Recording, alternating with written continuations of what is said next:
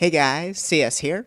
Welcome to the White Supremacist live stream. the live stream I tried to do last week. So uh, hopefully this will all work out. And of course, uh, you're not seeing the right screen. Oh crap. Trump heard us.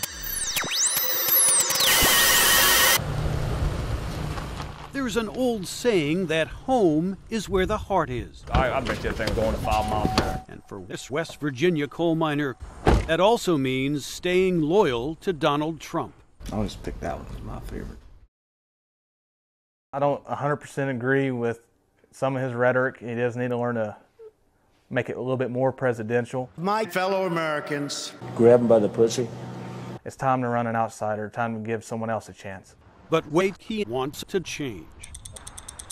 My wife was real concerned about his, uh, you know, banana from the beginning. But his coffin balls is just exceptional. he referred to my hands. If they're small, something else must be small. I guarantee you there's no problem. I guarantee it. It was it was about 12 to 16 inches down. He's an upfront guy.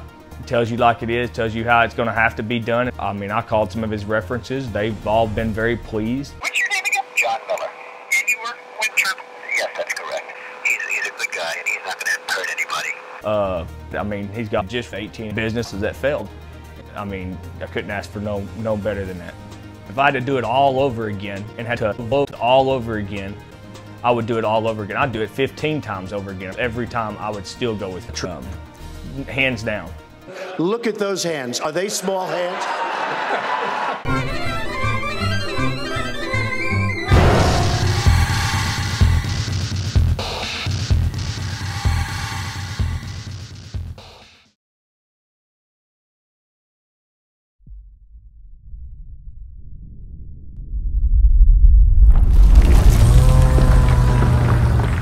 Josh, Josh, Josh, Josh, Josh, Josh, Josh, Josh, Josh, Josh, Josh, Josh, Josh, Josh,